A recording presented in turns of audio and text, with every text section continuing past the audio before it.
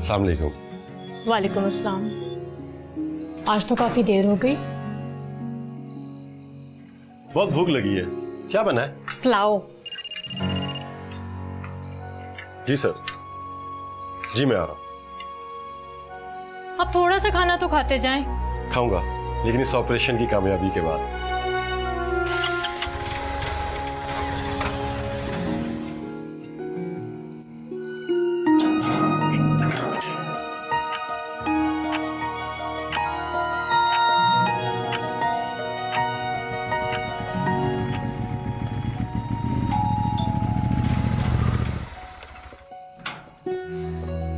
अलैक्म वालेकुम सलाम।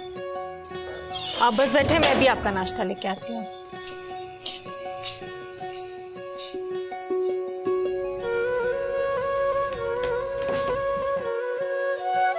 मेरी तो ड्यूटी ऐसी है कि मुजरिमों के साथ साथ नींद और भूख से भी लड़ना पड़ता है।